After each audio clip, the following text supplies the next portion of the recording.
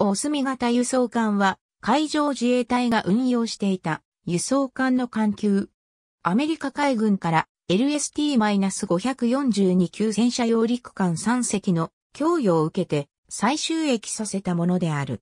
なお、供与当初は揚陸艦と類別されていたが、1971年4月1日に監視故障は変更された。海上自衛隊の輸送、揚陸艦艇部隊は1955年、MSA 協定に基づいて、アメリカ海軍により供与された、汎用揚陸艇6隻、機動揚陸艇29隻によって、終艇隊を設置したことを短所とする。しかし、これらはいずれも小型で輸送、揚陸能力は限定的であり、また公用性も書いていた。このことから、MSA 協定に基づき、アメリカ合衆国でモスボールにされていた LST-542 級戦車揚陸艦3隻の供与が行われることとなった。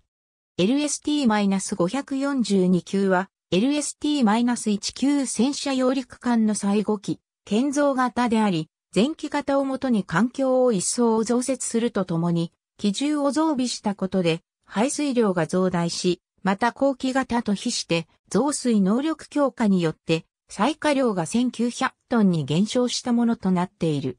なお、大隅には、機動揚陸艇や車両人員揚陸艇など、上陸用舟艇を搭載できるダビットが、両舷に3機ずつ設置されていたが、知床では、環境構造物両脇の1機ずつのみとなっている。1961年4月1日、オレゴン州アストリア米海軍基地で3隻の引き渡し式が行われ、同日付で第一揚陸隊を編成し、日本に、日本海溝途中のパールハーバーに寄港時、米海軍から旧日本海軍の特殊戦航艇一隻を受領した。この艇は、真珠湾攻撃に参加し撃沈されたものを、米海軍が引き上げたもので、知床の上甲板に搭載し、日本に輸送した。第一揚陸隊は、1962年の三宅島、噴火、1965年の大島大会の人道援助、災害派遣に活躍したほか、